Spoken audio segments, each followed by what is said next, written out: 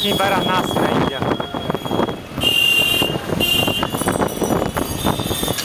A cidade mais caótica, suja, feia e fedida que eu já conheci.